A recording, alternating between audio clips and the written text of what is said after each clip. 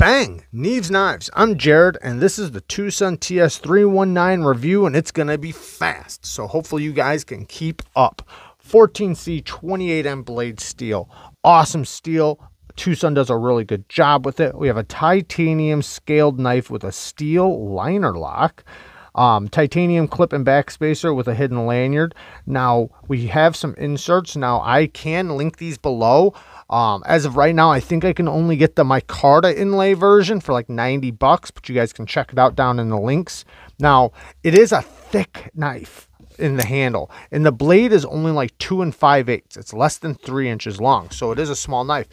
Big, nice big hole, lots of room to get to that hole. Now, it reminds me of the Gavko Nurse, and a lot of people say it reminds them of the the Ferrum Forge Prolix. So, and you can see it does. Um, they're very similar in size too. This is just a little bit bigger. Definitely thicker. Very thick in the handle, but it winds up becoming super comfortable in the hand. It is so comfortable in the hand. Um, and it also helps out with the reverse flick because you have so much to grab onto that you can just like hold it like this and bang, pop that blade out. Very easy, very nice access. Or you can just lay it in your hand, cover it with the thumb, bang.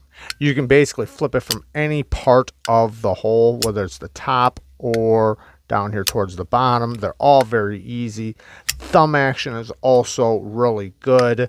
Slow rolls very nice, and it has really cool acoustics. Listen to this.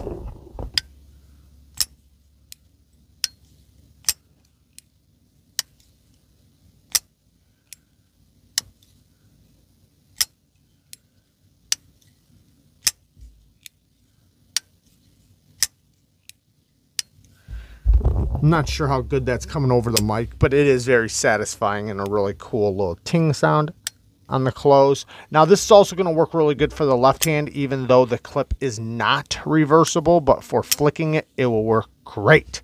Now, access to the lock bar is really, really good. It is a steel liner lock though, uh, but when you unlock it, very false shutty when you unlock it, but then it's not false shut action. It does have Twosun's plastic uh, ceramic caged bearings, if you can see it.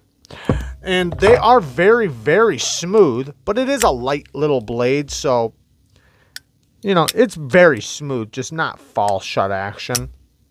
No issues. Now, it does not have a reverse detent like a lot of Twosuns, but it's also not hard to fight past it, but it's easy to slap it shut.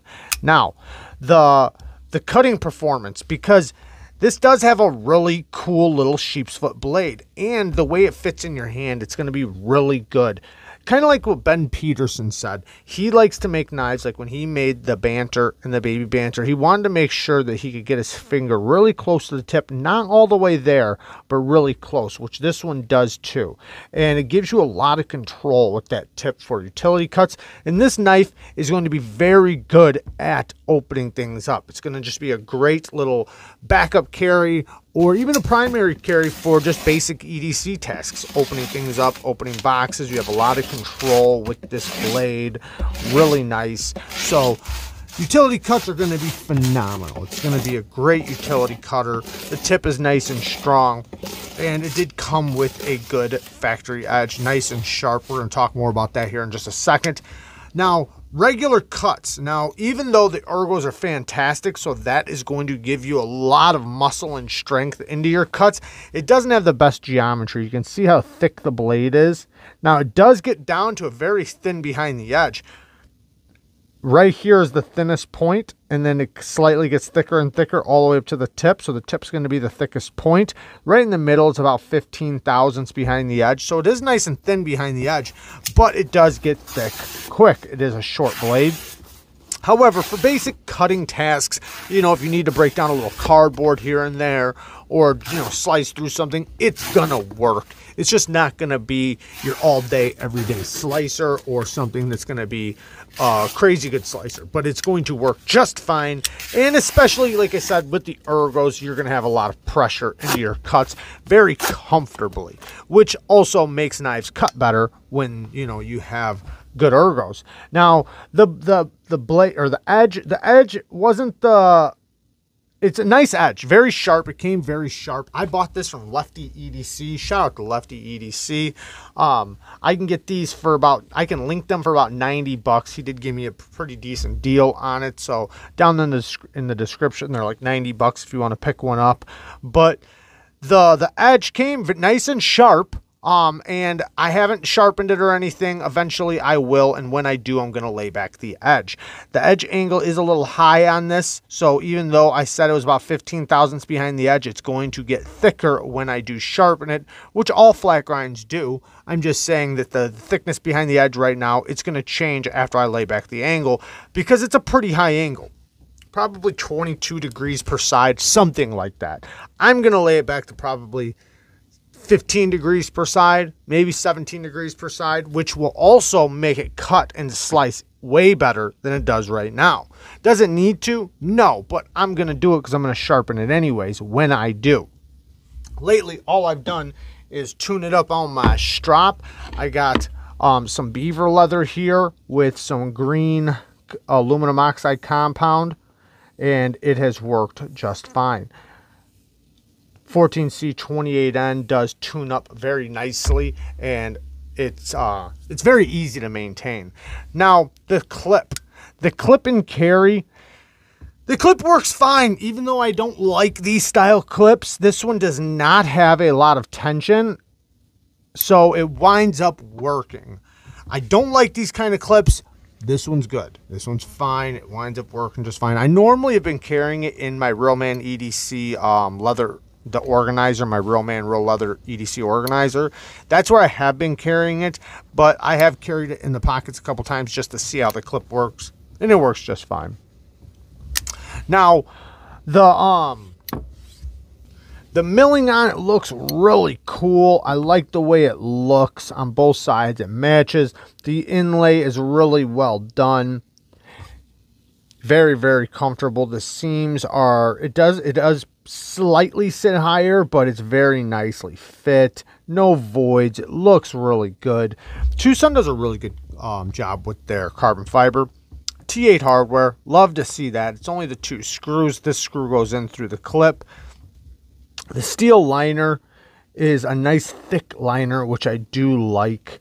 Um, nice and comfortable and the stop pin is a regular stop pin, but it's a decent size for this size of a knife.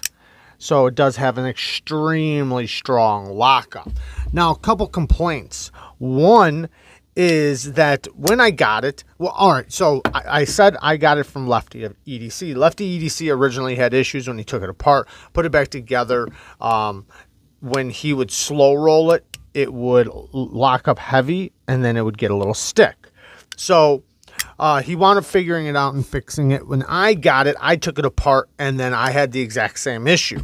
I was having issues back here. When I tighten this screw down extremely tight, which it's tight right now, perfectly tight, no problems, there's no gaps, no nothing. It's perfectly tight. But when I over tighten it, for some reason, when I go to slow roll it, it locks up really strong and then there's lock stick. Now, when I just reverse flick it hard, it doesn't do it. Um, same thing that happened to Lefty, except for I don't know how he fixed his issue. When I fixed it, all I did was just I backed this screw out just a little tiny bit and it took it right away. So that was a little issue, and I was like kind of uh, messing with it, trying to figure it out, and I couldn't figure out why it was doing it. But after I got it tuned and then let my um, my uh, thread locker cure and dry, it's fine. It's just fine now. No issues. Um, but a couple complaints though, other than that. One, I don't usually like single screw clips. However, this one is very solid because they inset it and it fits perfect. If it didn't fit as perfect as it does, it probably wouldn't uh, be as good. It'd probably move a little bit, but their tolerances are really, really good. Next thing, I do wish it had a little bit better geometry. Like I said, this is a basic EDC knife. It's not that big of a deal. However, it's also just a two inch, two and five eighths inch blade. This thing is a small knife. Yes, you have the ergos for a hard use knife, but that doesn't mean you need the geometry of a hard use knife with such a little blade like this, especially with this blade shape. I mean, it's not like it's a little razor blade shape for prying and things like that. This you know, it's not horrible geometry because of the type of knife it is and what it's for. But I would have liked to see this thinned out just a little bit. Other than that, this thing is awesome. I do really like it. It is a cool little backup knife, a little EDC knife that does feel like it's extremely well built. Very fun to fidget with. Like I said, it's not fall shut action, but it's still very fun. I, I do like it quite a bit. And there you guys go. I love you guys. Thank you guys for watching. Peace.